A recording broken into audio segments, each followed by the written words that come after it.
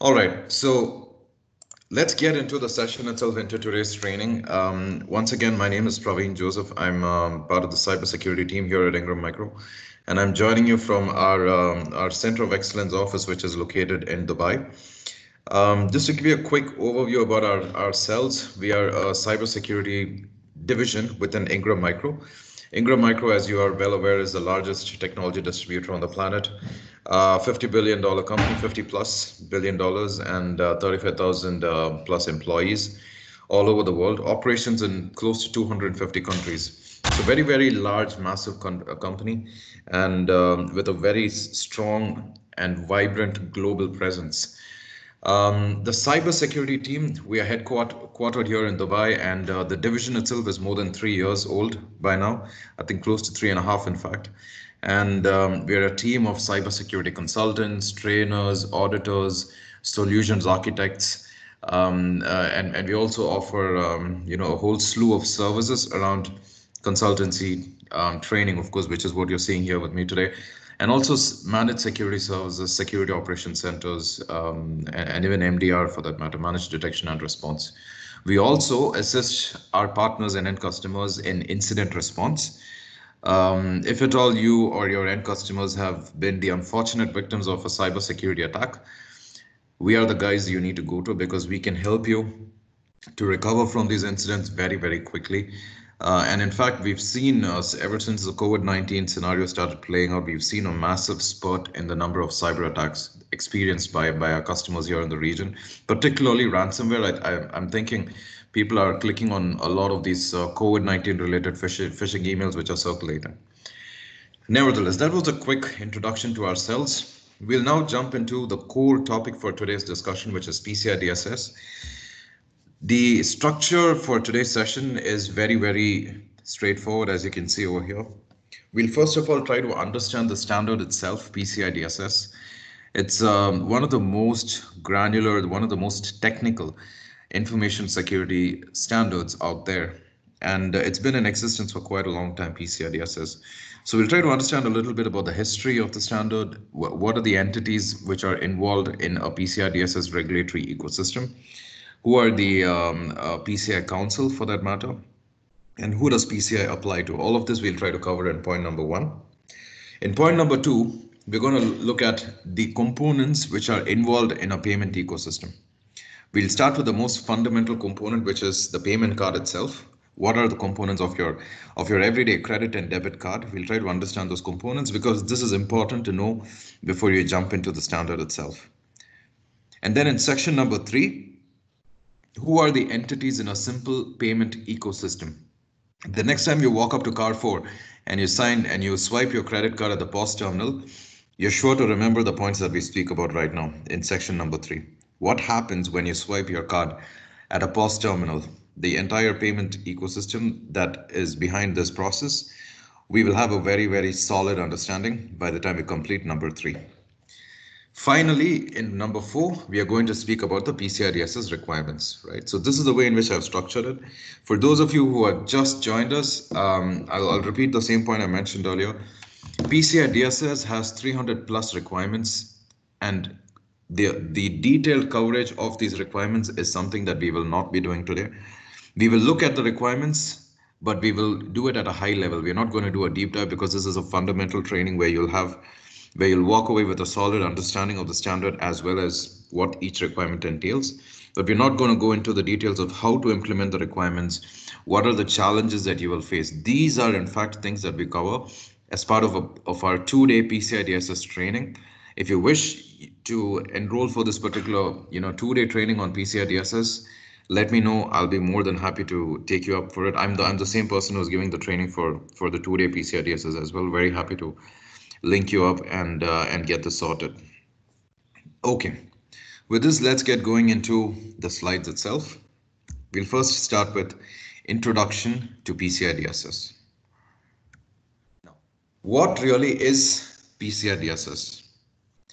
I'm sure no one in this room today is a stranger to this particular standard, the payment card industry data security standards, because this standard has been in existence for a very, very long time, and it has gained a lot of popularity within, in fact, a short span of time. Today, you can be pretty confident that if an organization is saying that they are certified in PCI DSS, you can be pretty confident that yes, they are meeting a minimum baseline of security.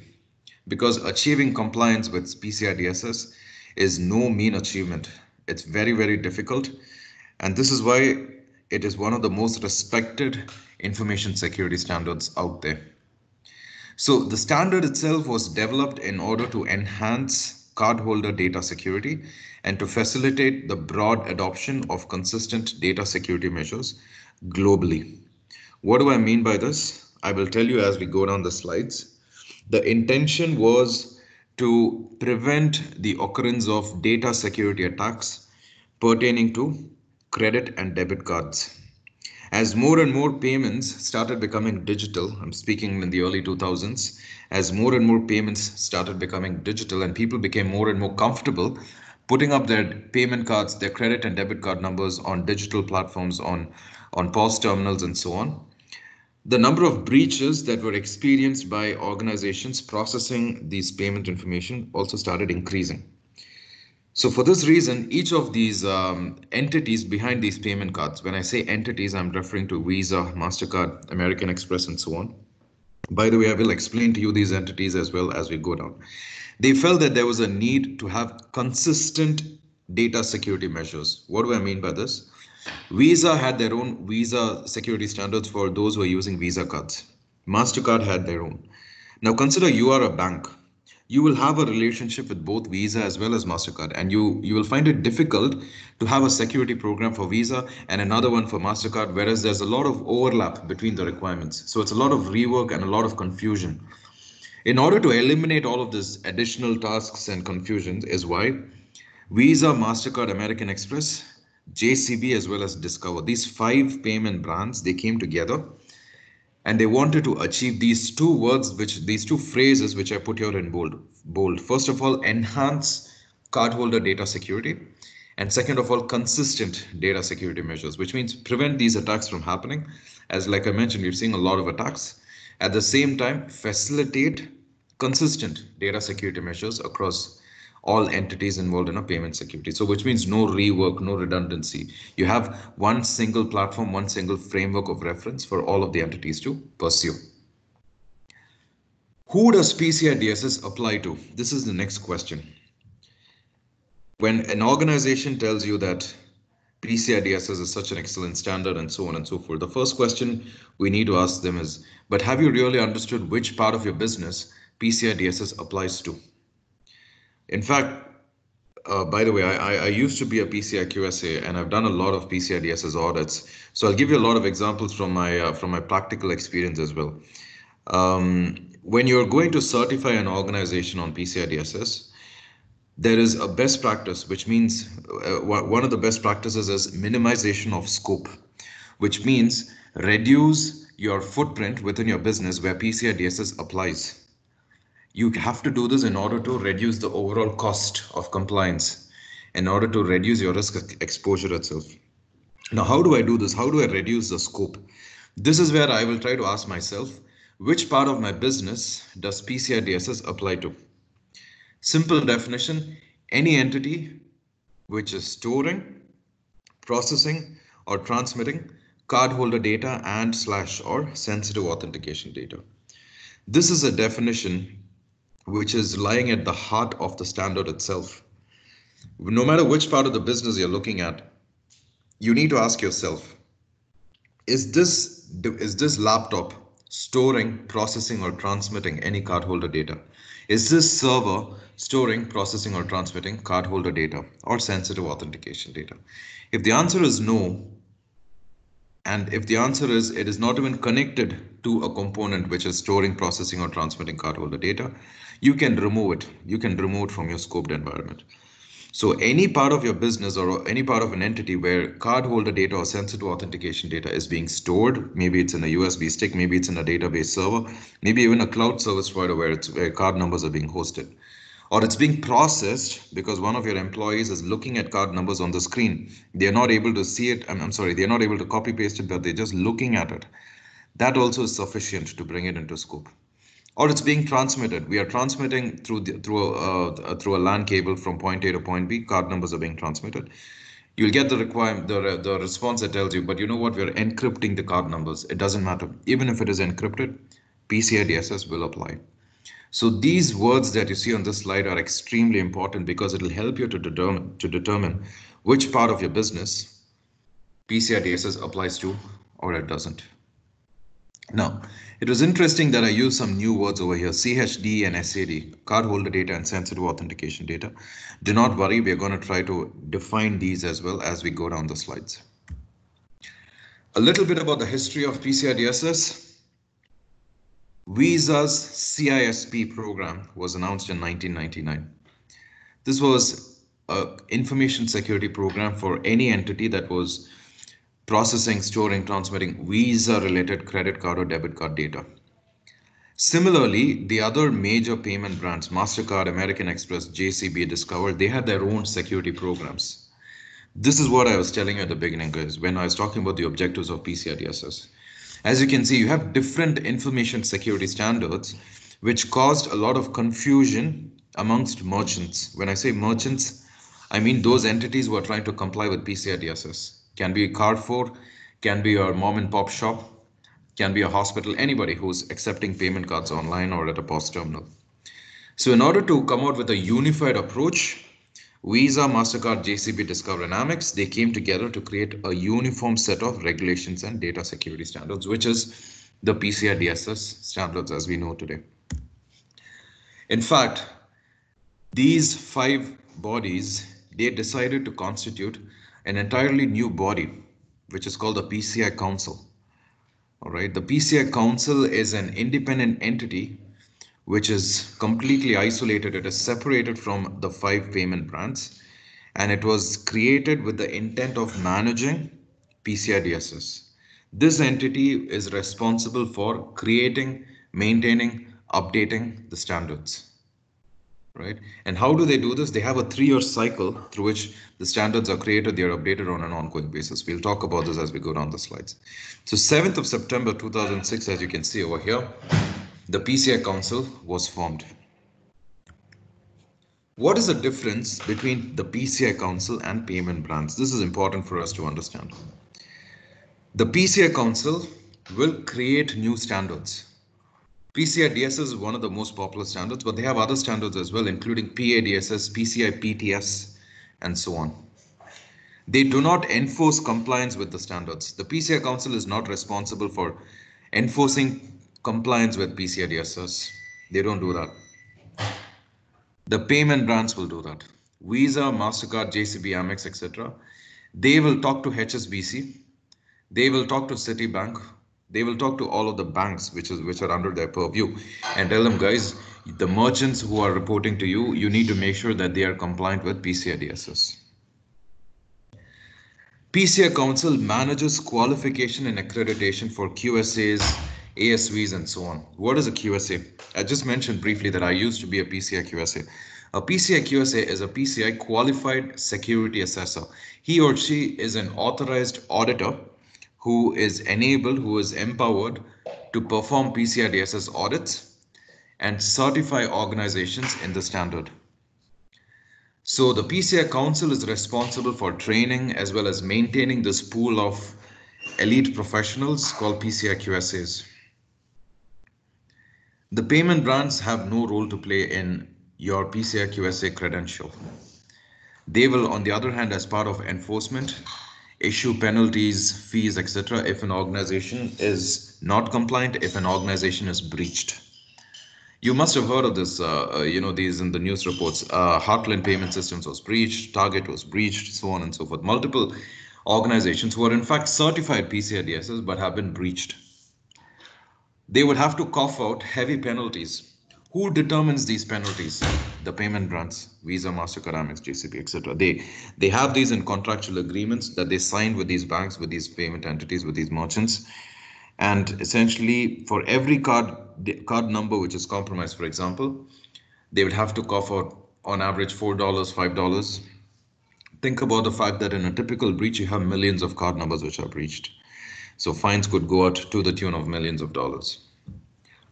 PCI Council is responsible for creating awareness. They are also responsible for promoting participation and feedback to the uh, to enhance payment security. How do they do this? Every single year, they have something called the PCI community meetings. They have an annual conference which they conduct. Members of the participating community, which means payment brands, acquiring banks, merchants, service providers, etc., and also the QSAs and the auditors and so on. They participate in the, in these conferences and they give feedback on the PCI requirements. The PCI Council receives these feedbacks, uh, these um, points of feedback, and also sees how they can be incorporated into the next standard, the next revision of the standard. They create awareness on PCI DSS by their websites, by their publications, special interest groups, etc., etc. All right. There are other standards as well which the PCI Council has launched. Not only PCI DSS, you must have heard about PADSS because it is applicable for payment applications. What is a payment application? Any application which stores, processes, or transmits cardholder, cardholder or sensitive authentication data. Similarly, PCI PTS, devices which are used for protection of pins, HSMs, hardware security modules, secure configuration devices, SCDs, or even POS terminals. The next time you walk up to Carrefour and swipe your card, you need to think whether these POS terminals are compliant with the PCI PTS standards. Now, one of the things to think about when you're looking at PCI DSS, how is it, how does it stand compared to other standards? You very often hear it being said PCI DSS is not a law. GDPR, for that matter, is a law. It's a regulation and it is enforceable by law. But PCI DSS is what we call an industry regulation. It's not a government legislation. It's not a law. It's an industry regulation. Some states in the US have mandated PCI DSS as part of their law itself.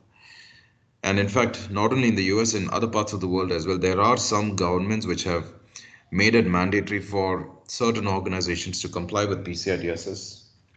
Side note, this actually speaks volumes about the efficiency of the standard in achieving security. PCI DSS, the first version goes back to December 2004 pretty old regulation, pretty old standard.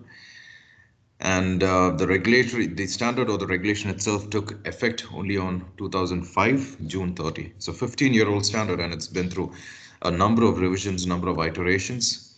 This diagram, which is taken from the PCI Council itself, their, or their actual website, speaks to us about how the standard goes through a three-year review. The standard is published in year one it is effective in the same year itself between November and Jan. And there is a timeline for the whole market to implement it. Feedback begins in point number four in November. And the old standards are no longer applicable. The old version of the standard is no longer applicable from December 31st of the first year, of the second year, sorry. Again, feedback goes on and revisions come in. Final review in May and July. So there's a three-year life cycle and I mentioned to you that PCI Council has the community meetings, those conferences where they take feedback. They solicit feedback on the efficiency of the standard and meeting its objectives. This is what happens here in the community meetings that are highlighted over here. All right, so three-year life cycle wherein this new version is, is published. There is an interim period where you have an option of complying with the previous version or with the new version. In the second year, you have the old version which is being retired. Feedback review goes on and final review happens. At the end of third year, this version, the latest version is, is retired and the new version has to make way for it. Today, we are in version 3.2.1, which is dated 2018 of May. All right, so we had version 3.2 and then that was immediately followed through with version 3.2.1 with minor updates, minor changes. Um, there was there are different types of changes which you will see in each version of each iteration of PCI DSS. You might have additional information, you might have clarification, or you might have updates. So additional information and clarification are not very serious or not very significant changes. Actual updates are where you have significant changes to, to the uh, requirements of the standard itself. So in the latest version, there was minor changes or minor clarifications in requirements 2 and 4, which we'll talk about as we go down the slides. And then as well as in Appendix B, speaking about compensating controls. What are compensating controls?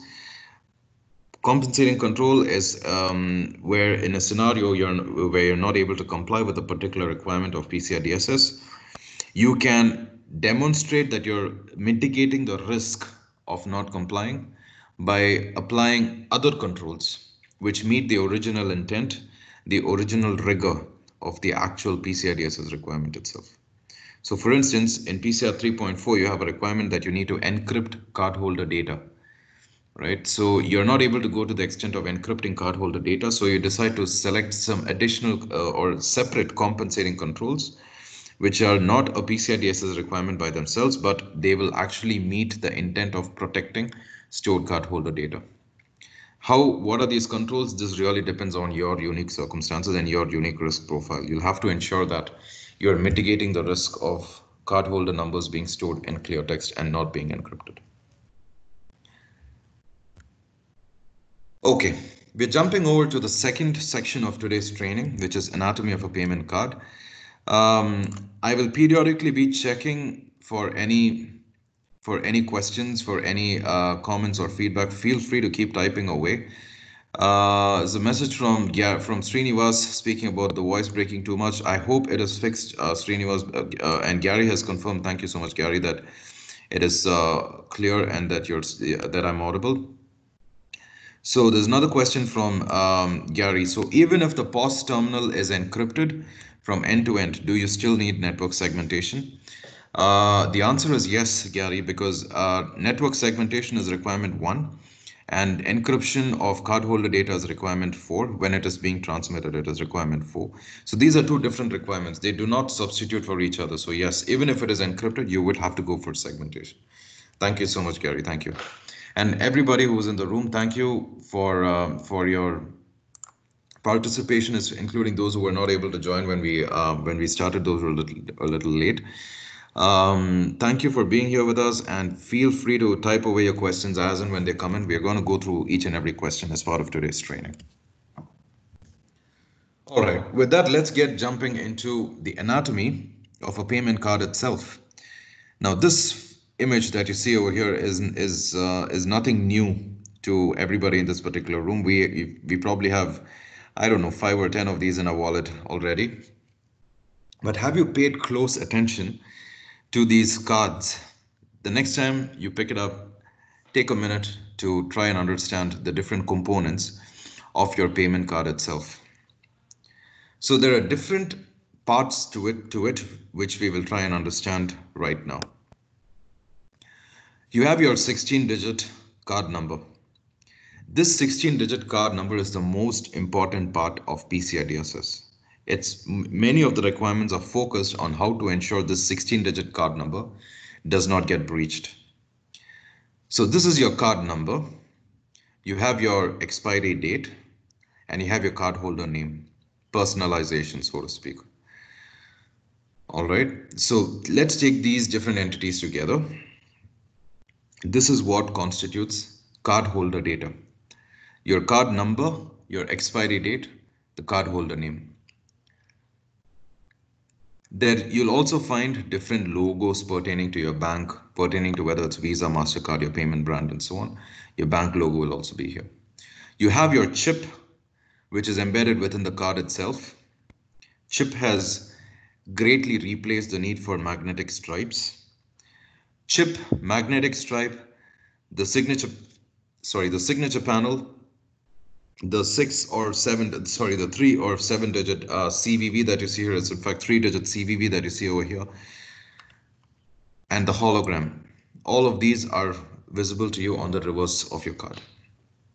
So the chip, the mag stripe data, the three digit CVV that you type over here, as well as your PIN, which is embedded within the chip or the magnetic stripe, depends on the case. All of these constitute what we call sensitive authentication data or SAD. If you remember on the very, very first slide or the second slide, we spoke about who does PCI DSS apply to? Any entity that stores, processes, and transmits cardholder data and slash or sensitive authentication data, PCI DSS applies to them. So any entity that is storing, processing, and or transmitting data that you see on this particular slide, PCI will apply to them. So here is a complete breakdown of the different kinds of data that I was telling you about. You have cardholder data and sensitive authentication data.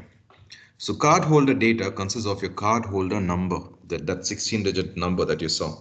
Side note again, if you're using an Amex card, you will have a 15 digit number. It's not a 16 digit number, but if it's Visa, MasterCard, JCB, or Discover, you will have a 16 digit card number. So that card number is what we call the primary account number or the PAN mentioned over here. Your cardholder name, your expiration date or your expiry date, plus a small two digit code, which is called the service code, which we don't really know. We don't know, know that it exists. It's embedded within the magnetic stripe. The sensitive authentication data consists, on the other hand, of track data. Track data is part of your magnetic stripe. There are two tracks, namely track one and track two. We will not delve into the details of the track itself today, but it will help entities to identify who is your bank, who is your service provider, uh, I'm sorry, who is your payment brand, what is your PIN. All of this would be embedded within your track data. Your three-digit CVV, which is also called as CAV2, CVC2, CVV2, CID, depends on which part of the world you're in, you're in, but there are different names, but the one which, which is most commonly used is CVV or CVC. Lastly, you have pins, your three, your four-digit pin or blocks of pins as well, depends on the case. Okay. Now, what does PCI DSS tell us about the storage and the protection of cardholder data, as well as sensitive authentication data? Primary account number. Can I store it? Yes. Do I need to protect it? Absolutely yes. Cardholder name. You can store it, but yes, you need to protect it. Service code. You can store it, you need to protect it. Expiry date, store it, protect it. So what you see over here, the first four bullet points is going back to the previous slide. Card holder data can be stored, but you need to protect it, which means you need to encrypt it, you need to hash it, you need to truncate it. Different options are there. We'll speak about this. Magnetic stripe data, CVV, pin, pin block. Absolutely no storage allowed under PCI DSS. Do not store sensitive authentication data. Going back to the previous slide, sensitive authentication data is to be is not to be stored under any circumstances under PCI DSS. If you find that someone is storing this, it's an apps it's an immediate fail of their PCI DSS audit. Since they can't store it, there's no question of whether you can protect you need to protect it or not because it does not apply. Now, we have completed section number two, where we have now understood the anatomy of a payment card. All right, so we started with a, very brief history of PCI DSS, and then we jumped into the anatomy of a payment card where we understood the different components of a payment card itself. What we're going to do now is we will understand the ecosystem of a payment process. Like I said earlier, the next time you walk up to a merchant whether it's Carrefour, whether it's your local, um, I don't know, clinic or whatever it is, and you swipe your credit card or debit card, you will recall what we're going to discuss right now. There are different entities in a payments ecosystem.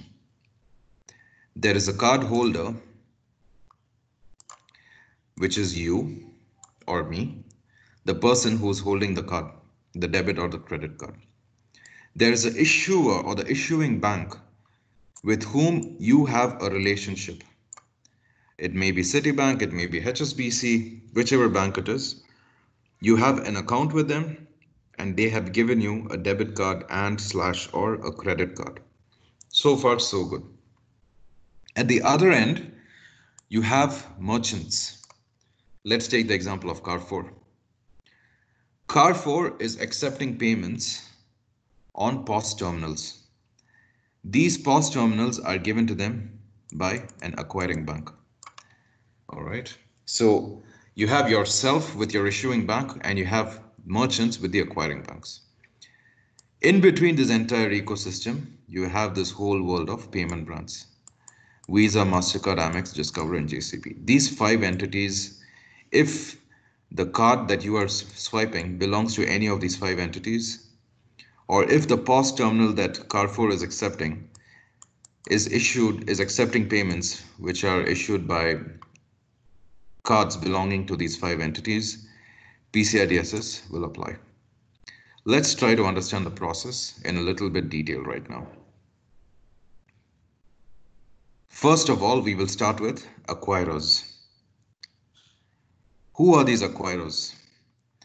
Acquiring bank is a bank with which the merchant or the business holds their funds.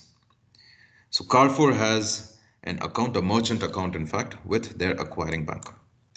The acquiring bank will give them POS terminals or the equipment to accept payment cards. So the POS terminal into which you swipe your card, it'll have the logo of this particular acquiring bank. Pay attention next time, you'll, you'll surely see it next time you walk up to make a payment.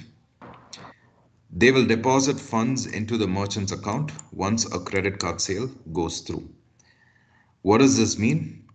I will tell you when we speak about the process. So let's just hold on to this thought and we'll discuss this when we speak about the process involved when you swipe your card. Examples are Wells Fargo, JPMC, um, whatever. I mean, the list is long. All the major banks in the world are acquiring banks. Payment brands, which is the Visa, MasterCard, Amex, JCB, they form their main selling point is the availability of a network which connects all major banks worldwide. You have a Visa card which was issued in the UK and you're traveling, of course, um, once the COVID-19 situation eases out, you're traveling in Hong Kong. Your card is accepted in Hong Kong. It doesn't matter that you got it from the UK. Have you thought about why? The common factor is Visa or MasterCard, whichever it is. This is a global network that they offer that connects banks across the world and allows them to accept as well as transfer payments between each other. The payment brands are responsible for setting up interchange fees as well as assessment fees. What is all these fees? I will talk about this when we speak about the payment process. The most common payment brands are these five logos, Visa, MasterCard, Amex, Discover, and JCB. Issuing bank is the cardholder's bank. Like I said, you have an account with Citibank. Citibank is the issuing bank. They will determine whether you have the amount required to make a transaction. When you type an incorrect PIN, they will tell you you've typed the incorrect PIN. When you make a transaction, you, when you try to purchase something for, I don't know, 60,000 dirhams, but your daily limit is only 40,000 dirhams, they will be the ones who tell you that you have exceeded your daily limit. Issuing banks, examples, HSBC, Citi, etc., etc. The list is long. Merchants are the entities that accept the payment cards with the logos of any of those five payment brands.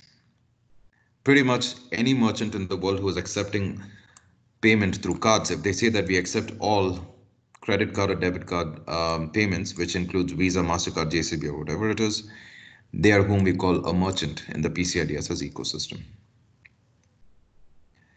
Now, there is a different there are different ways in which you can categorize these merchants depending upon the number of transactions that they are accepting within a given time period. This prioritization of merchants is required in order to identify their risk profiles. If you're a level one merchant, you are accepting as many as 6 million payments every year. So major retailers major hospitality chains, whatever it is, major even e, um, e-commerce platforms, where you're accepting at least 6 million transactions every single year, you are level one. Similarly, you have different buckets going all the way down to 20,000 transactions a year. You're just level four if you're less than 20,000 transactions per year. So depending upon which category you're falling into, you have different compliance requirements. If you're level one, Every year, a QSA has to do an on-site review. you will have to have a self-assessment questionnaire. I'm sorry, it's not required. The self-assessment questionnaire is not required because it is covered in the on-site review itself. You will have to do a network security scan, which is vulnerability assessments, penetration testing, quarter vulnerability, quarterly vulnerability assessments, annual penetration testing. So if you're level one merchant, you will have to be certified every single year by a QSA. If you're level two, three, or four, you don't require annual certification, recertification, etc., but you will require something called a self-assessment questionnaire. What is an SAQ? An SAQ is where you can yourself fill out a questionnaire, which will assess or benchmark your security posture. There are different kinds of SAQs, and you'll have to follow the approved one, which is available on the PCI Council's website. There are, there are different types of SAQs depending upon the type of the organization itself. Going all the way down to level four, where SAQs and network security scans are only recommended, they are not mandated. Now, we'll talk about the actual process. We've understood the different entities, we've understood merchants, We've understood acquirers, we've understood issuers. Cardholders are, of course, ourselves, the customers who are walking up to a merchant to make a payment. What is a process that flows every time you swipe your card? Bear in mind, the whole process lasts less than, less than two seconds, but we'll try to understand and break it down very quickly right now. Take a scenario. This card holder is myself, Praveen Joseph, cybersecurity consultant here at Ingram Micro. I have a credit card which was given to me by HSBC. My issuing bank is HSBC.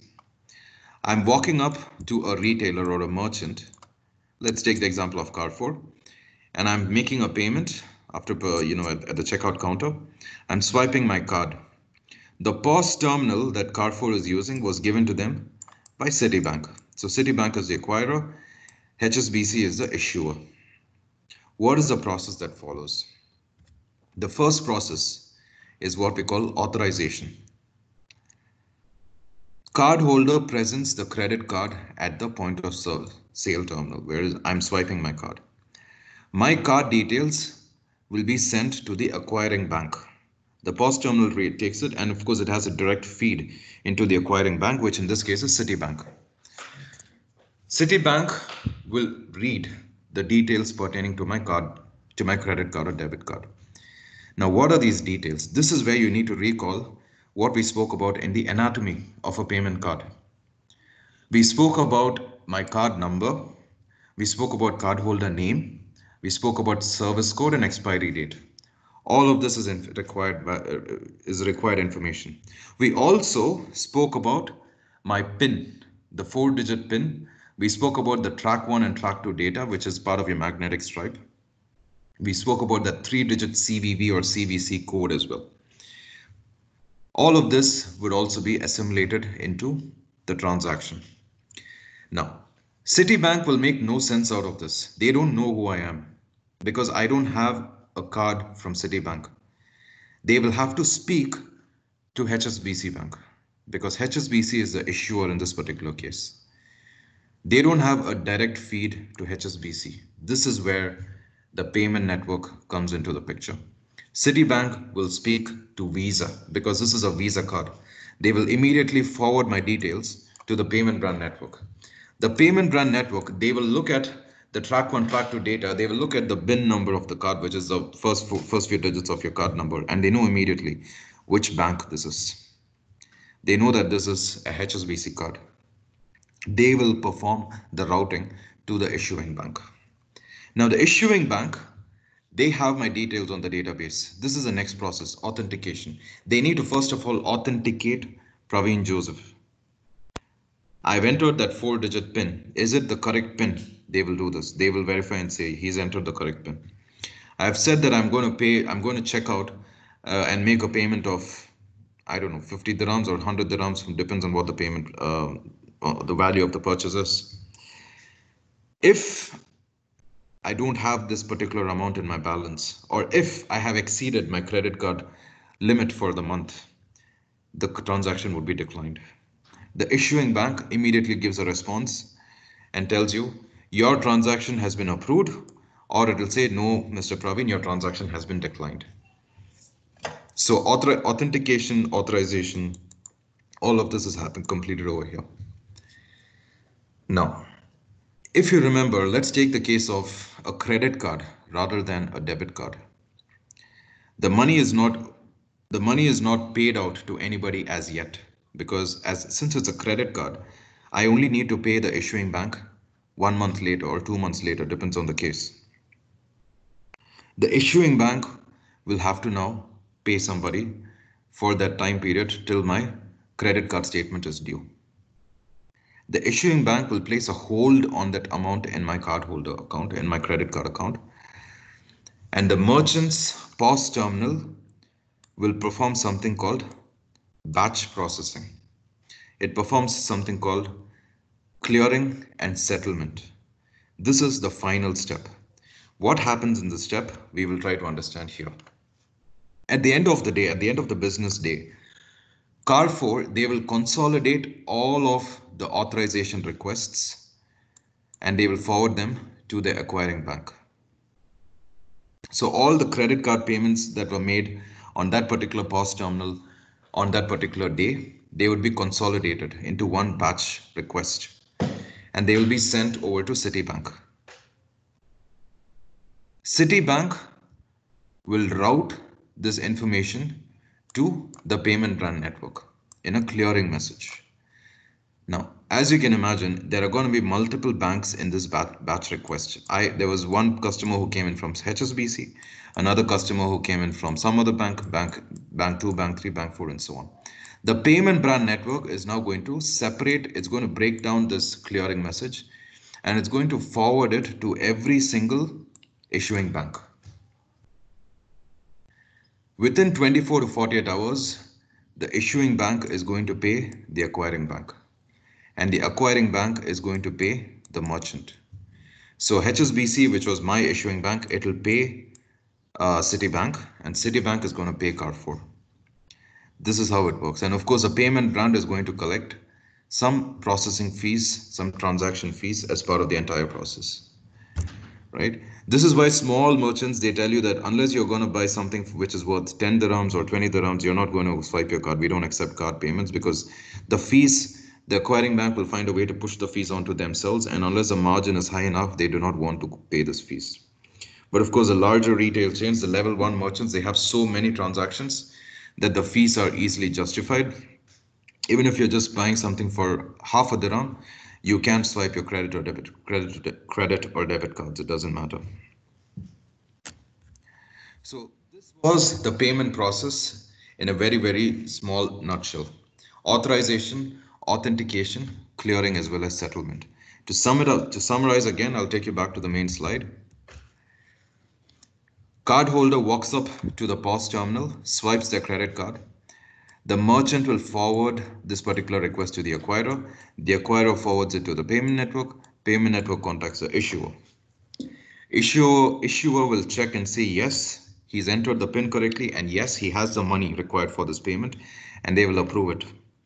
If the answer to either of these questions is no, the transaction is declined. After this process is completed, the issuer will pay the acquirer and the acquirer will pay the merchant. How does this happen? At the end of the business day, the merchant will consolidate all the card transactions on that particular POS terminal in a batch request and send them over to the acquirer. The acquirer will send them over to the payment network and the payment network will distribute it across the different issuing banks. The one which corresponds to this particular cardholder the issuing bank will, will review it and it will say, yes, this was an approved transaction. It will pay the acquiring bank. The acquiring bank will pay the merchant. Visa, they will collect their transaction fees. I do apologize. I realize this slide looks really messy with the uh, with the hand-drawn notes, but I had to summarize the whole process. I hope that you understood it as well. Any questions? Oh, no questions so far. It couldn't have been so clear. Come on. So feel free, everybody, type your questions as they hit your mind. Don't wait for me to ask you. Feel free to just keep your questions coming in and we are very happy to take them as and when you when you give them out. All right, I will be periodically checking the chat as well. All right. Now we're going back to the slides and we're jumping into the heart of the presentation itself, which is PCI DSS requirements. Here, what we will do is we will try and understand the intent behind each requirement and the core components of each requirement. Like I said, we're not going to jump into the details of how you're going to implement these requirements because we don't have the time for that in today's training. This is a, a, a short abridged version of a two-day training where we will in detail dissect and analyze each and every sub requirement of PCI DSS this is a longer training which I've delivered uh, and I continue to deliver by, by the way since the last many years.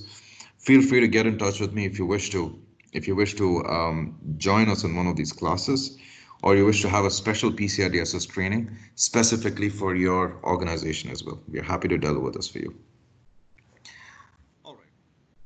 Broadly, PCI DSS requirements can be classified into these six categories. The first one is build and maintain a secure network and systems. Requirements 1 and 2 will fall under this particular bracket. What is the objective of this particular section? Irrespective of how much data you're storing, who is accessing this data, what are the technical controls you have around it, the first requirement of PCI DSS itself tells us, let's start with your network. This is as good as telling you when you want to build a house, I want to have the blueprint of this house laid out in a secure manner.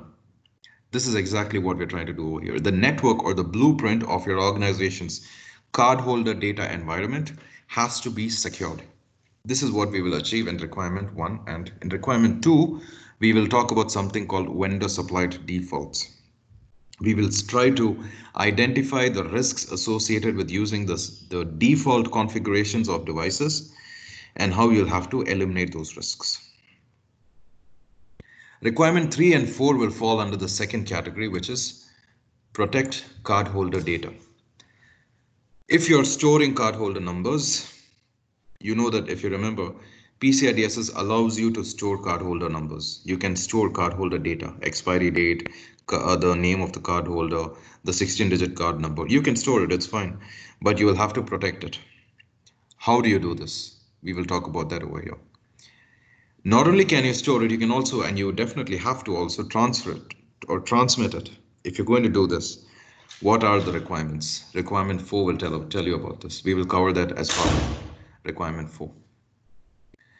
Requirement 5 and 6 talk about vulnerability management. Five is what I like to call the antivirus requirement because it tells you how to configure, how to set up and how to manage an antivirus program on your cardholder data environment. One of the things that I told you right when we started today's training is PCI DSS is extremely granular, extremely technical. It goes down to the extent of telling you what devices you need to have antivirus configured on, what is the periodicity of your antivirus scans, what are the privileges that you can give to the end users and so on and so forth. In requirement six, which comes in again under vulnerability management, we will talk about secure application development, secure system development lifecycle. Requirements seven and eight talk about access control. There, these two requirements are what I like to call the need to know requirement as well as the accountability requirement. The entire identity and access management ecosystem would be covered over here. Requirement 9, 10 also fall, up fall, fall within this category, wherein you'll talk about physical security and log management. Requirement 11 is where we talk about testing. Testing pertains to vulnerability assessments, penetration testing, having an, uh, a process to detect wireless networks and so on, which comes in at requirement 11. We'll talk about that here. And lastly, having an information security policy, which is the last requirement of requirement 12. Okay, what we are going to do now is go through each requirement and try to understand the intent and the design of the requirement itself. I will repeat again, we are not going to go into detail about the how to aspects of meeting the requirements because that will not be met within the limited time that we have. There are 300 plus sub requirements under the under each of these requirements. So it's a very, very uh, deep and granular uh, set of uh, requirements, the whole standard itself. We'll start with requirement one, install and maintain a firewall configuration to protect cardholder data. All systems should be protected from unauthorized access from untrusted networks, such as e-commerce, employee internet access to desktop browsers, employee email access, dedicated connections, including B2B connections, which are your WANs, for example, wireless networks, etc. This is the core background of requirement one. Have a secure network configuration and ensure that the systems are protected from untrusted networks as well as networks which are part of your day-to-day -day business operations, but they have higher risk profiles than what would be anticipated for a secure cardholder ecosystem. This requirement is what I like to call the firewall requirement. And it covers every single aspect of secure network configuration as well as management. It talks about network change management, which means you need to have a proper change management process defined and implemented. When was the last time you've seen this in a small organization, maybe? When you speak to a firewall administrator, there is a requirement from someone who says, uh, Mr. Firewall admin, I need you to whitelist www.facebook.com for me. He just goes ahead and does it for them. In a larger, more regulated organization, this would raise a lot of red flags because you need to go through a proper change management process. Someone has to make a request, someone has to review it, someone has to approve it. Only then can it be implemented. After it is implemented, someone has to do a review to see if it is implemented in the correct way. Proper separation of duties, proper process for change management. This is what PCI asks you. However, if you're speaking to the non-compliant organizations, the smaller organizations, those who are in a less regulated setting, you will see a lot of cases where people are simply able to speak to the firewall admins and they're just directly white labeling URLs directly giving them access to um, locations and websites which there is no approval uh, ticket raised for. There is no approval mechanism in place. Requirement one also tells you that you need to have a proper network diagram. Without the network diagram, you don't know how to or where to begin securing your network. So you need to have an updated network diagram. You also need to have an updated cardholder data flow diagram, which shows you from a business perspective, where does cardholder flow? Where does it reside? Where is it stored within your organization's network? These two components, network diagram plus data flow diagram, are fundamental towards scoping your PCI DSS engagement. Without this, you don't know which components are in scope, which components can be scoped out. Proper roles and responsibilities have to be defined. Separation of duties is incumbent upon roles and responsibilities being defined. For network administrators, general users, external users, whatever the categories are, their roles, responsibilities, privileges have to be defined and documented. A firewall business justification document. What do I mean by this? Take a firewall and look at its configuration. You will see a lot of source IP, destination IP, permit, deny kind of configurations. Now, when you're looking at this, how do you know which of these have a valid business need? At the end of the day, IT has to support business. If there is no business need, there is no need for certain sections of IT which are tied to that business need itself. If there is no business need for one particular source IP to match another, to, to connect to another destination IP, do not allow it. By default, deny all. We will see this concept being rep repetitive in PCI So there's no business justification, remove it. And how do you track this? Firewall business justification document. When was the last time you looked at a firewall and you see certain ACLs in it which are no longer relevant? This is what we try to address in firewall rule review. Every six months, PCI DSS tells you you need to review your firewall configs You do it manually, you do it using tools, it doesn't matter, but you need to do it every six months. There are tools, by the way, the most popular of which is Nipper, through which you can perform firewall rule reviews and it tells you which ACLs, which protocols, which ports are used, which are not really secure, not really required by business anymore. They have to be removed.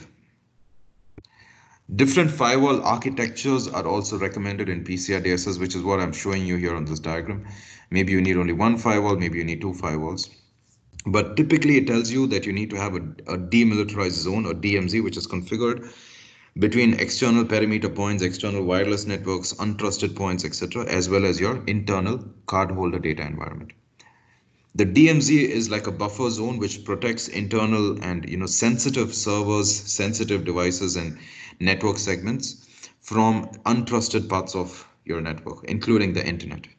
It's an it's a buffer zone. So if at all there is something which has to phase inside as well as outside, like your mail server, for example, you can put it in the DMZ. It doesn't have to be on the um, inside. It doesn't have to be on the outside. It can be in between. It also talks about firewall configurations, what what protocols you cannot allow, including the clear text protocols like Telnet, like FTP, and so on, because they transmit data in clear text and are no longer considered to be secured. Also SSL, the earlier versions of SSL, they have been hacked um, very easily. In fact, by by the way, in, in attacks such as uh, Heartbleed, such as Poodle, these are attacks which exploited vulnerabilities in SSL version 1 and so on. These protocols are explicitly disallowed in PCI DSS, explicitly forbidden. This is why I'm telling you PCI is extremely granular. It goes down to the extent of telling you which protocols you can't use. Telnet, FTP, SSL earlier versions, etc. All of this you will see it in requirement 1. Jumping over to requirement 2. Ever since COVID-19 started playing out, we've all been working from home. And we've in fact been thankful that we have strong wireless connections, Wi-Fi networks at home. When was the last time you took a look at that Wi-Fi router, which is supporting your, your work activities at home so diligently? When was the last time you took a look at the security configuration of that router? By default, if you're purchasing, for instance, a Linksys router or a D-Link router, if you reset that router and then Google, just Google, default admin username and password for Linksys router model number D41000 or whatever it is, you can easily find it right there thrown back at you on Google. What is the username? What is the password? Ad username is admin, password is 0000 or admin123, whatever it is. You can easily pick it up off the internet. Now consider a scenario where you are the network administrator for a reputed hospital. Same mistake. Trust me, this happens more often than you can imagine. Same mistake where people forget to change these default admin usernames, admin passwords of network devices, servers, and so on. This is what PCI DSS will tackle in requirement number two. Do not use any vendor supplied default usernames, default passwords. These have to be changed before these devices are pushed into production access on the on the cardholder data environment. Components? The first one is change vendor supplied default passwords. Whether it's a firewall, whether it's a router or any other network component or server or any device, go ahead, change those vendor supplied default usernames, default passwords. Provide only one primary function per server. What do I mean by this? If you're, for example, reviewing the PCI DSS compliance posture for a small organization, with those on a low budget, by the way, a lot of organizations today are on a low budget thanks to the pandemic. We want to cut costs. Everybody wants to cut costs. I don't want to invest on five physical servers, one for antivirus, one for patch management, one for log management, so on and so forth. I will have one server. On this one server, I will have the central log management console. I will have the central antivirus console. I will have the patch management console, all of this deployed on one server. Think about this from a risk perspective. The security requirements for each of these different servers differ from each other. Antivirus server is it is acceptable to have it facing the external world because it needs to download the latest antivirus signatures. Log management server, maybe it is not necessary to face the external world. Your Active Directory server does not have to face the external world. So will you permit internet connectivity to the server or not? This is a question we need to address. And how PCI is tackling this is by telling you, you know what, you can't do this at all. You can't have one server running multiple functions. What is the answer to this? Virtualization. Cut budget, that is fine. You don't have the budget to buy five servers, that is fine. Purchase one server, but define different VMs on this server. One VM for Active Directory, another one for log management, and so on and so forth. And then identify the security requirements for each of these VMs. Go ahead and deploy this, manage and maintain it. This is what PCI DSS tells you. One primary function per server. Virtualization absolutely is permitted. Remove any unnecessary services, ports, protocols, like for example, Print Spooler. If you don't need Print Spooler, remove it because it's not the most secure. Unnecessary ports, protocols, close all of these and so on. Encrypt non-console admin access. What is console admin access? If the next time you walk into a data center, um, you will see hidden somewhere in a corner, you'll see a monitor and a keyboard and a cable as well connected to the monitor console cable. Very often, IT administrators, network administrators, server administrators, they use this to directly connect to servers, firewalls, routers in the in the data center and to directly troubleshoot them. It in this particular case, this is what we call a console connection to a device. In this particular case, PCI DSS has a requirement which we'll talk about later. But any other admin access to a firewall or a network device. What do I mean by any other access? Through the network of the organization, IT teams can connect to these firewalls. They don't have to physically walk to the data center. They can sit at their allocated workstations and connect to these devices. If at all they do so, it has to be encrypted, which means you cannot use clear text protocols like telnet for authorization of these users because telnet like i said earlier is a clear text protocol which sends their admin passwords and clear they cannot be allowed shared hosting providers must protect each entity's hosted environment and cardholder data multi-tenancy the next time you read about cloud and cloud security you will surely see this word multi-tenant environments and how to secure them. This is what PCI DSS is covering in requirement two. two. If you're having a cloud service provider who is hosting cardholder data or, or, or any other form of data which is pertaining to your CDE, they need to have controls to have these different environments within the same server, logically isolated from each other, logically protected from each other. There are two banks which are hosted on the same server Bank A should not be able to access Bank B's data, even by if it is only by a misconfiguration or through some sort of error. error. All right, so this covers requirements one and two. Build and maintain a secure network as well as systems. This is what requirements one and two was. Now we're jumping over to the next requirement, which is requirement three. Stored cardholder data and how you can protect it. Now, PCI DSS allows us to store cardholder data. Like I said, this is okay. This is acceptable for your card numbers, for your credit card, um, uh, your expiry dates, your, your cardholder name and whatnot. But you need to protect it. Different protection methods are allowed, not just encryption.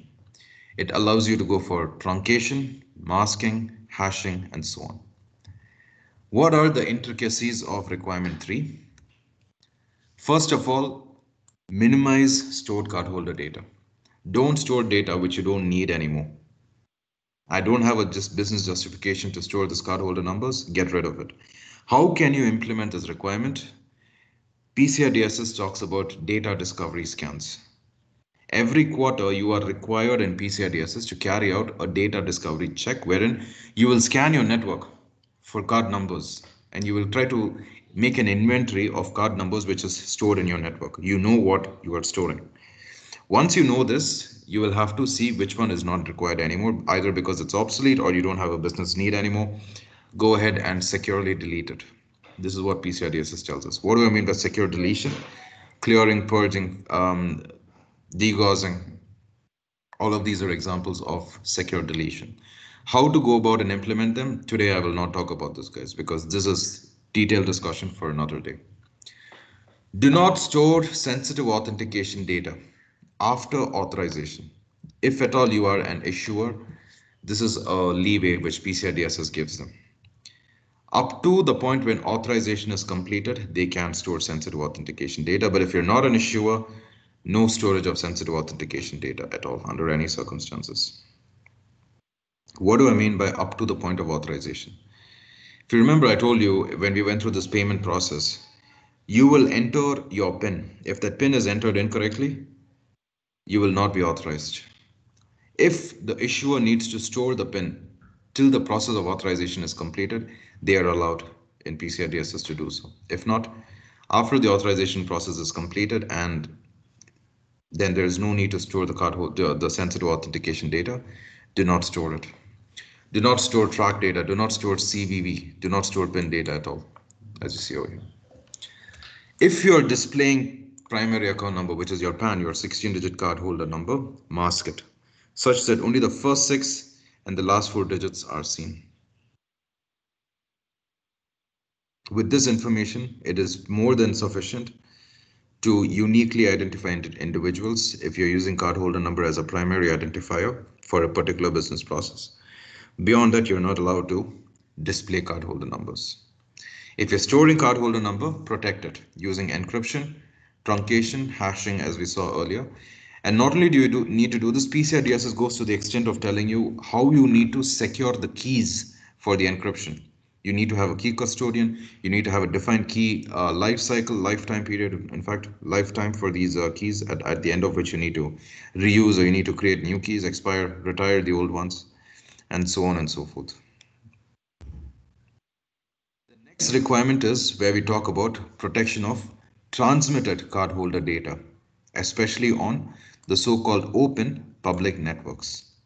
What do i mean by this Okay, there are a few questions which we will look at before we start requirement 4.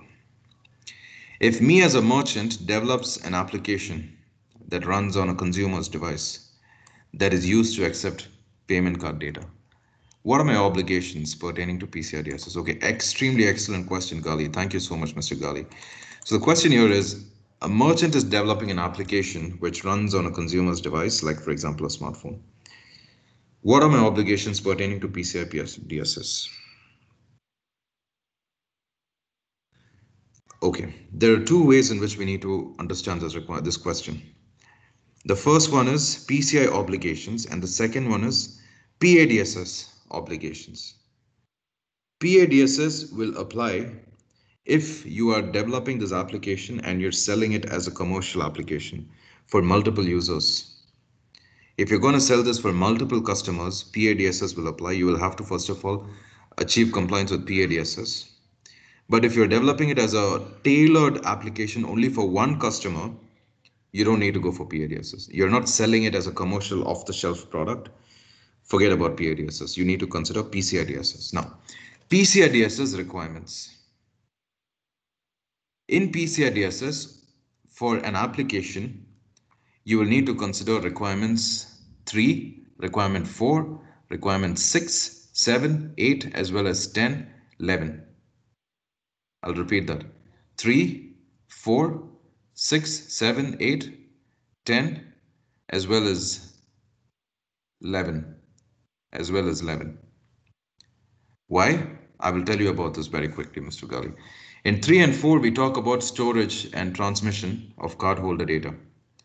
So that is why from your application, you need to ensure that you're encrypting cardholder data, if at all you're storing it, and you're masking it as I just told you on your application.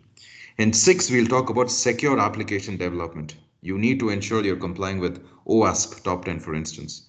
You need to ensure you're having formal SDLC. You need to ensure that you're having a web application firewall, which is deployed in front of your application if it is an internet facing application in your in your network architecture. In 7 and 8, we'll talk about identity and access control, which both apply to applications. So you need to think about 7 and 8. 9 is about physical security, not so pertinent for applications, so we can skip it. But 10 speaks about log management, extremely important. You need to consider that from your application. What logs are being generated? Are they being stored? Are they being um, managed? Are they being reviewed, etc.? You need to consider that. 11 talks about vulnerability assessments, penetration testing. You will need to carry out web application, VA web application, PD, and so on. That has to be considered from requirement 11's perspective.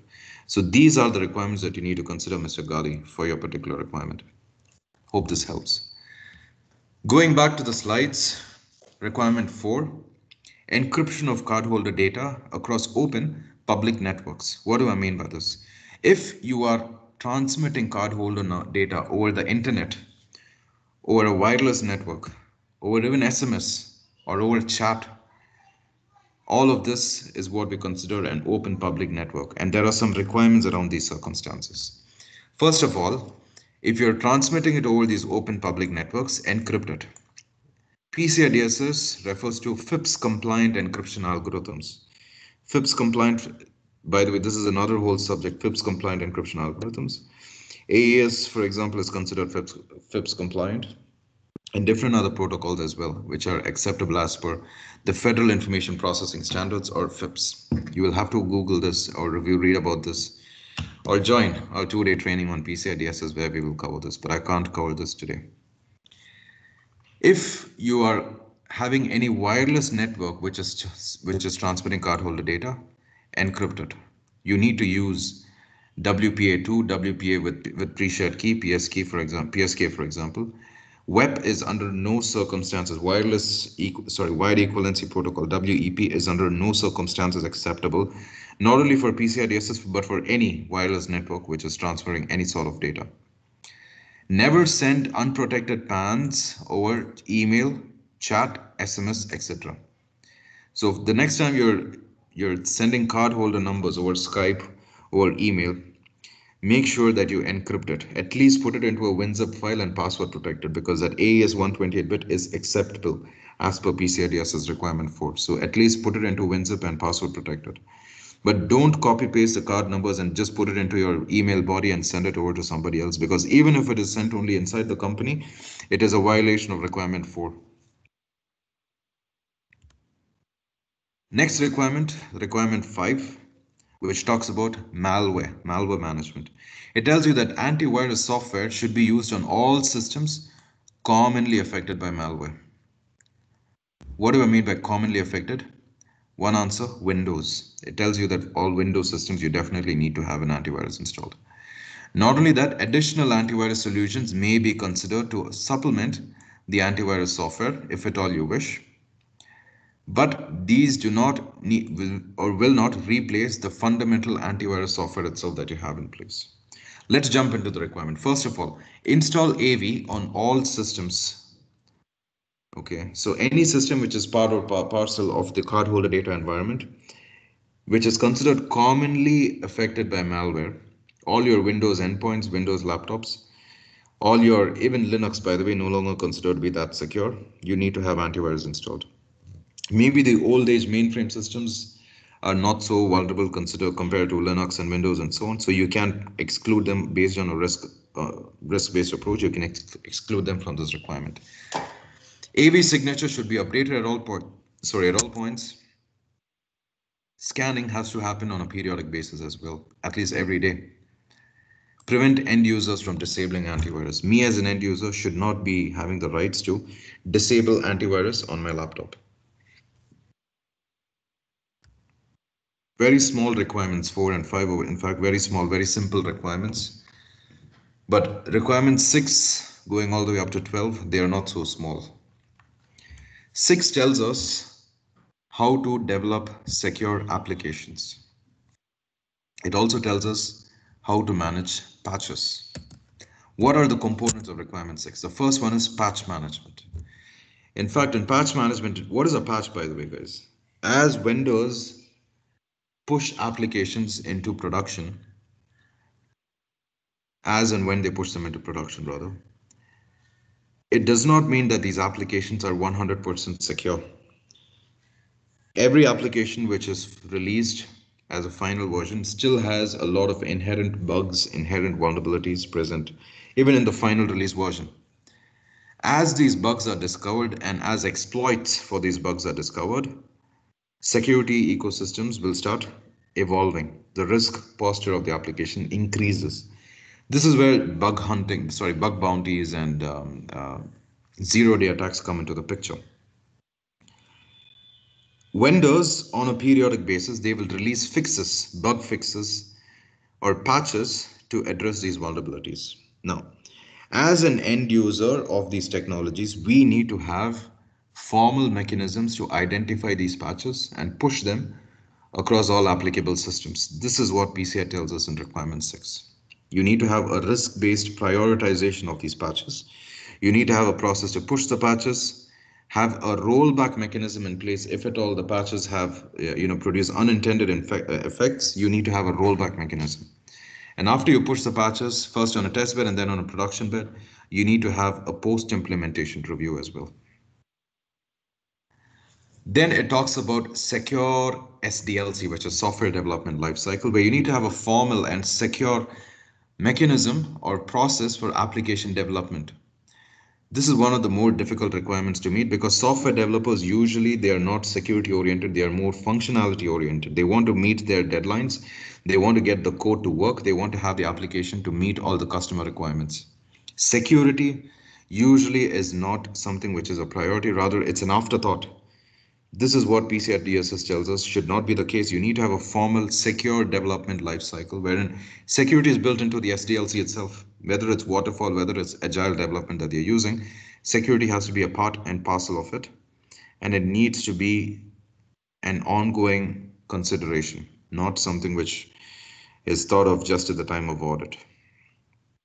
You need to have a code review mechanism consisting of peer review, lead review as well, before code is pushed to production.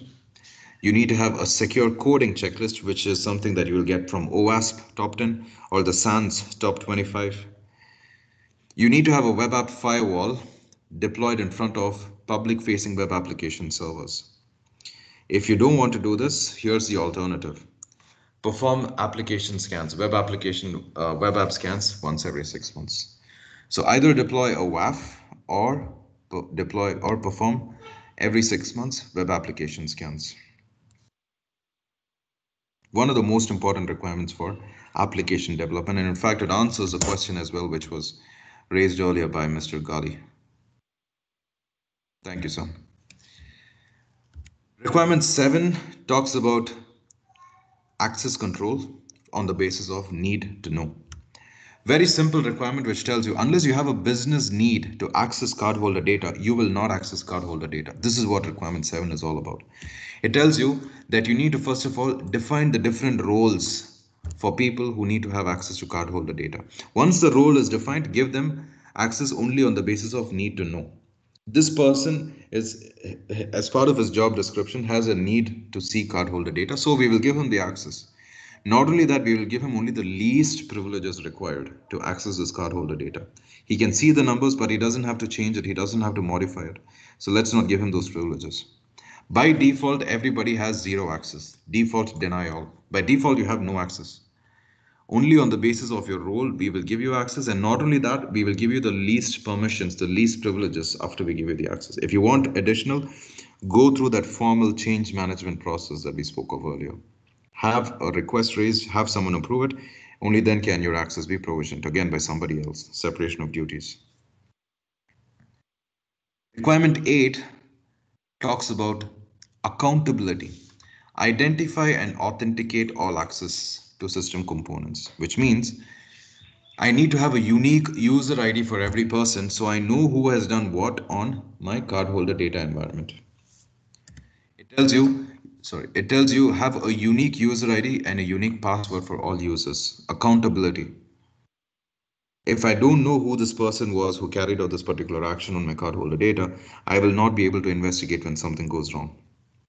Not only that, it also tells you provide privileges on the basis of approvals, remove the access for terminated users and so on. It also tells you account lockout. After how many invalid attempts you have entered the wrong password four times, five times, lock your account. Your session is invalid for 15 minutes, your session will time out.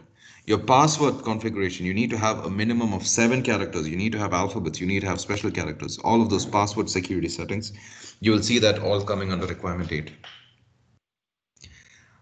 IT administrators who are responsible for Active Directories. They define AD servers, they define the users within your organization, and they define the password policies, account lockout, session timeout, all of these settings. They will have to sit and work on on requirement eight.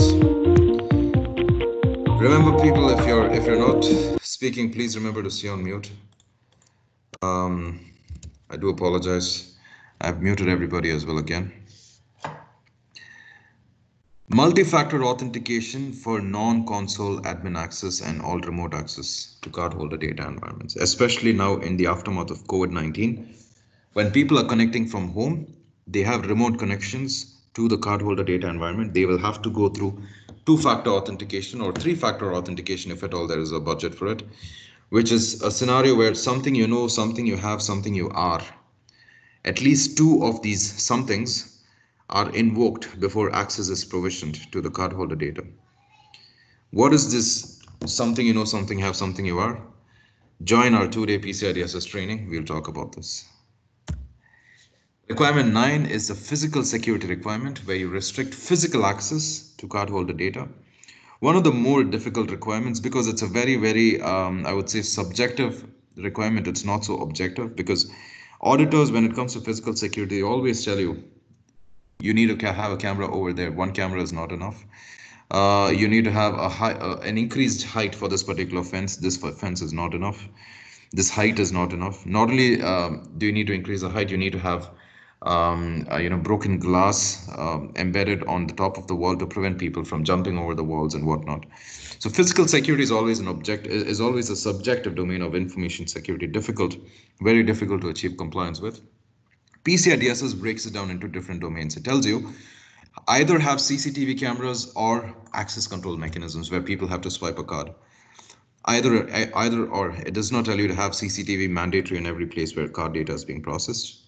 Either have a camera or have a preventive access control mechanism in place.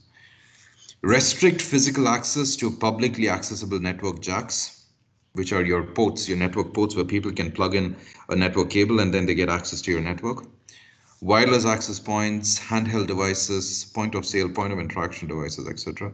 Restrict access to them. Proper visitor management. They have to be escorted. They need to be approved before they are allowed access to the physical security, to the physical premises. They need to be escorted. They need to be distinguished from your regular employees. All of this comes in over here. Media devices where you're taking backups, for example, your hard disks, they have to be physically secured as well. And they need to be um, the backup facilities where they are stored as well need to be secured. All devices which capture cardholder data, like your POS terminals, your point of interaction devices, they need to be inventoried, they need to be protected and secured as well, physically speaking.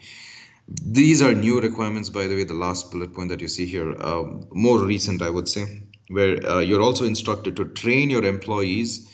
You know, the regular guys at Carrefour, for example, who are at the checkout counters, they have to be trained to ensure that these devices are not physically tampered with. One of the more um, rampant forms of cyber fraud or, or ATM related frauds that we're witnessing is that of skimming, card skimming.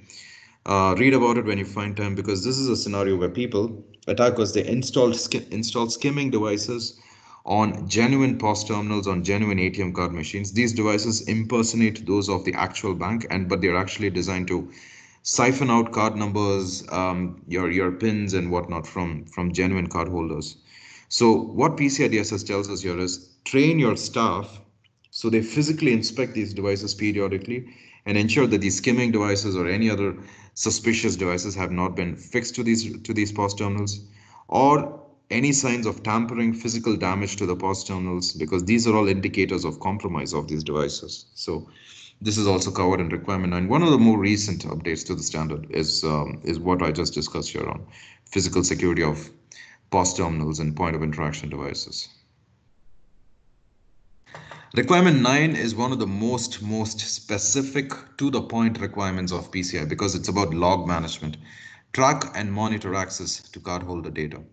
It completely talks about log management and what it tells you is that you need to have logs. In fact, I'll show you here. You need to have logs for all the components in your cardholder data. Not only that, it tells you in very, very minute detail what kind of events have to be logged.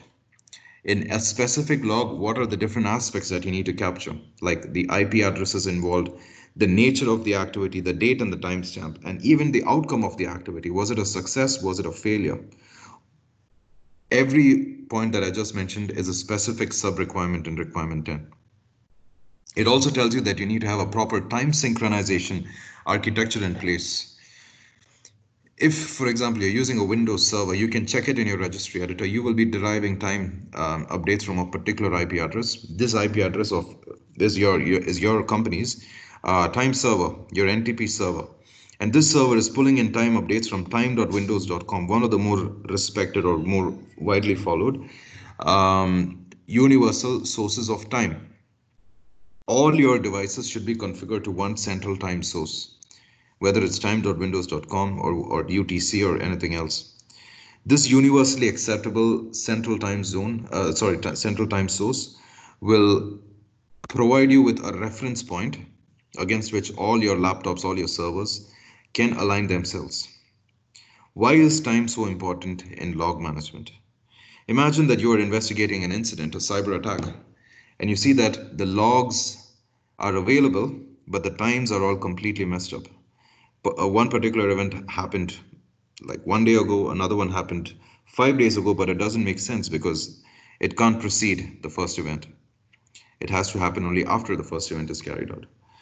So attackers usually will try to mess up with the timestamps of logs in order to confuse forensic investigators. And this is why PCI DSS tells us you need to have a robust architecture for timestamps.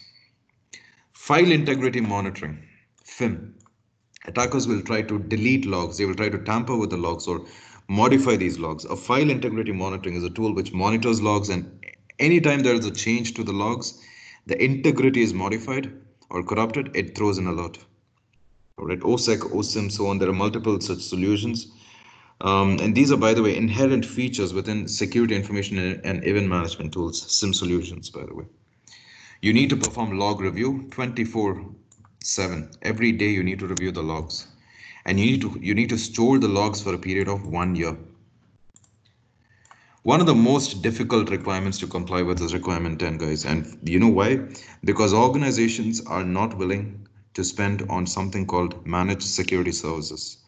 If you have a security operations center in-house, all these requirements that I just told you will be covered as part of your security operations center, SOC you will have a SIEM solution, maybe IBM QRadar, maybe it is uh, ArcSight, maybe it is AT&T Cybersecurity, the formerly, which was formerly called as AlienVault.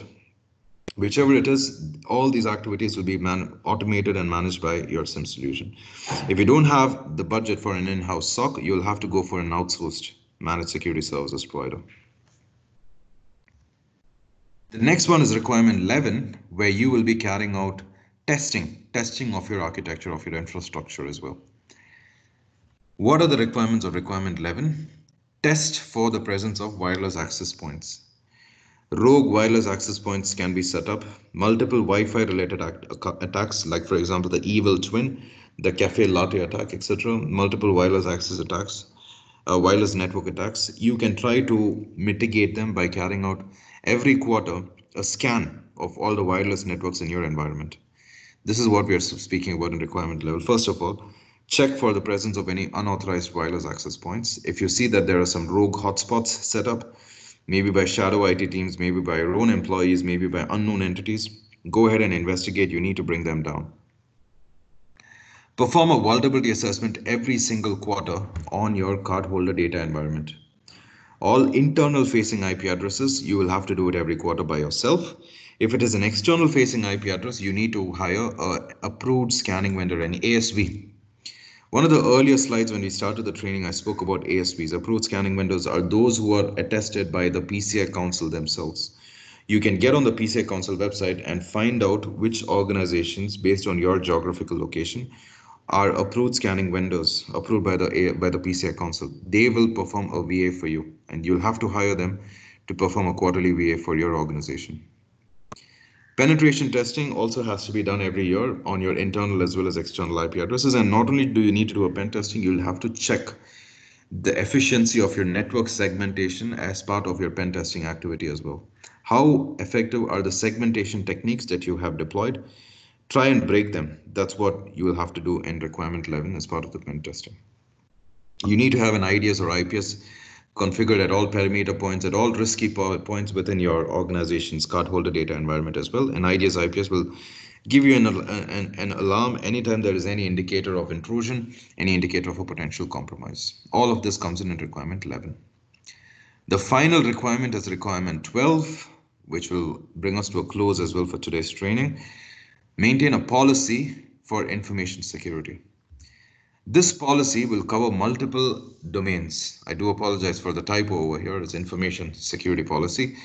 But what you what this requirement asks us is have a policy for information security. Not only that, touch upon all aspects of information security, including, for example, risk assessment. Every year, you need to carry out an information security risk assessment for your organization. Have acceptable use of technology have a security awareness campaign, which is every year train your people on information security.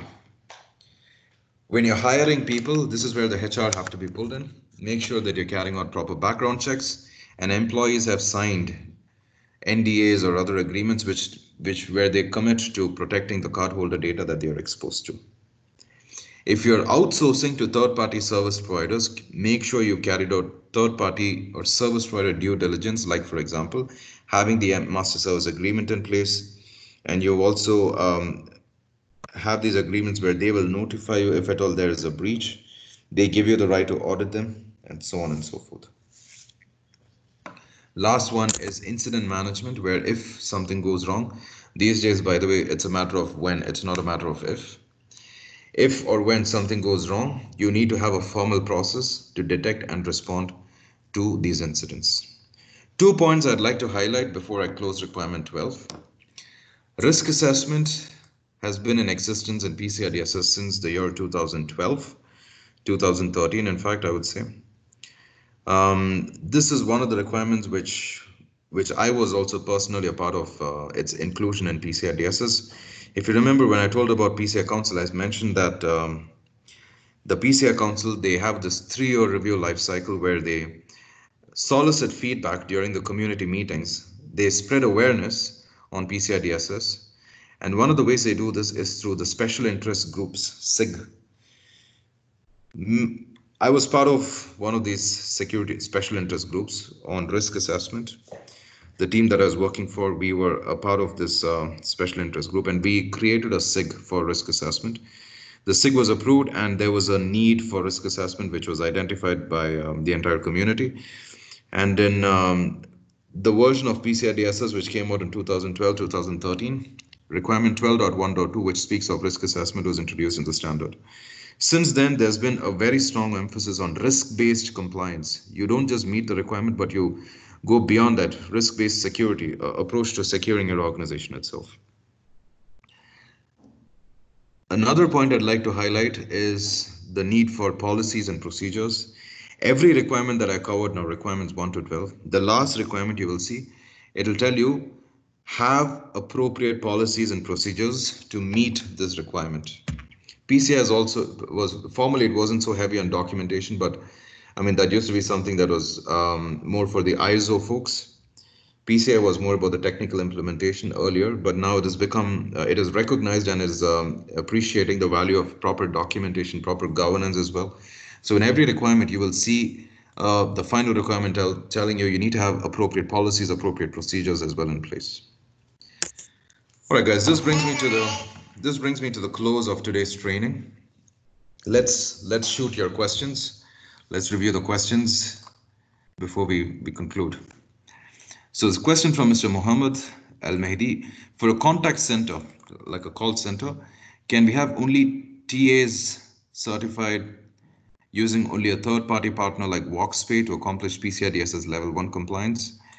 The idea is to route all the payment processes inside PBX to a third party and retrieve the call when the process is completed. Is there any special requirements for this case? For example, to be a level three or level four PCI compliant. Okay. Um, I'm not sure I have a, a, holistic understanding of your of your particular scenario, Mr. Mohammed. But what I see is that you want to res restrict the exposure to PCI DSS environments. Um, the TA is part certified using only a third-party partner like VoxPay to accomplish PCI DSS. Okay, I, I think I understand your question. And um, I think I, from what I see here, I think this is a valid approach as long as your organization is not storing, processing, or transmitting cardholder data, but it is being done by this third-party partner like VoxPay. It is acceptable to have them take on the task of PCI DSS compliance, and you can minimize, you can limit your exposure or compliance obligations if if this is possible. So yes, I do believe that this is a valid case um, level three or level four. Yes, you can reduce your exposure by routing it to your third party processor. Yes.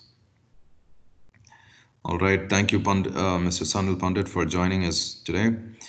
Uh, another question from Mr. Mohammed Kamran. If an organization already implemented ISO, how will PCI be integrated into the existing framework? Okay, excellent question, Mohammed. Excellent question. Thank you so much.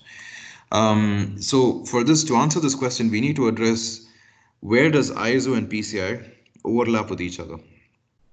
You'll be surprised there is a lot of overlap between the two standards. Although ISO is a lot more um, holistic, it is a lot more inclusive, and it is a lot more open-ended because it gives us a lot of room for interpretation. PCI DSS, on the other hand, is very, very granular, very, very specific. There are some areas where you can identify synergies between the two standards where the where the requirements will overlap with each other. I can I can give you a few of them right now. For example, in the case of background checks, HR screening, ISO will mandate that this has to be carried out, and PCI also tells us that this needs to be done. You can check this off and carry it out for both the standards. Secure application development. There is a lot of overlap between ISO and PCI DSS in the domain of secure application development. PCI goes to the extent of telling you you need to follow OWASP top 10. Um, I mean, it doesn't explicitly call out OWASP, but it it brings about the um, the 10 components of OWASP top 10. ISO also talks about these areas, but not to the extent of detail as PCI DSS. ISO also talks about code review and so on. ISO does not limit itself to cardholder data as, as a fundamental component. It does not talk about compensating controls. It does not talk about segmentation and isolation. All of these are core parts of PCI DSS. So those are areas where you will have to spend some time, spend some effort. So what I can tell you by and large is there are areas where there's a lot of overlap, background checks, application development, incident management, vulnerability management, um, uh, risk management as well. ISO is also extremely uh, heavy on risk assessment as is PCI DSS. So there are a lot of synergies, um, but and they do fit together in a lot of these domains. But PCI will require a lot more detail, a lot more granularity than ISO does. ISO is more open to interpretation. PCI DSS is not. It's more black and white. You either do comply or you don't. ISO, you cannot comply with the requirement and still be certified because um, the risk, you can prove that it does not fit in your risk profile. In PCI, it doesn't. It's not the case. I hope this helped, uh, Mohammed. Thank you so much. So there's a mapping between ISO and PCI DSS, which Mohammed has shared again. Okay, yes, thank you so much. Thank you, Mohammed. We will refer to this. Uh, Azza, thank you so much, Azza. Very happy to have you here with us. Uh, PCI compliance is implemented by issuer, acquirer, and payment brands, but do merchant also need to be compliant? Yes, yes, Azza, absolutely yes. Uh, so I'll tell you how this works is um, the merchant, sorry, the payment brands like Visa, MasterCard, etc. They will push compliance obligations on acquirers. Acquirers are like the Citibanks, the HSBCs, and so on. These acquirers, they will push the compliance obligation onto the merchants. So if I am a merchant, I have a shop, a retail shop, let's say, and I'm purchasing a POS terminal, which is uh, given to me by, by uh, Citibank. Citibank will impose compliance obligations on me. If I am not complying or if I am breached, for example, Visa will find Citibank, Citibank will find me. That's how it works. So, uh, so yes, everybody in this ecosystem would have to, uh, you know, pursue PCI compliance obligations. I hope this helped. I hope this helped as well. All right, I don't see any other questions. If there, if the, if you have questions, feel free to um to shoot them in. I'm 12 minutes delayed. I do apologize. Uh, it took a little longer than anticipated, but uh, I'm really happy that you found the session useful, and um, we had a very good participation as well from you. Let me remind you again, we have two-day trainings on PCI, plus a lot of other security standards, including ISO, uh, and the and the more um, recent and more important privacy regulation, GDPR as well. Um, feel free feel free to get in touch with me to uh, attend one of these trainings for yourself for your organization. We're very happy to get collaborating with you on this. And uh, this session was recorded. It'll be available on our YouTube channel as well. Uh, feel free to check it out over there. Thank you so much, everybody, and I wish you an excellent rest of the day. Thank you from, from on behalf of everybody here at Ingram Micro Cybersecurity. Thank you. Thank you all.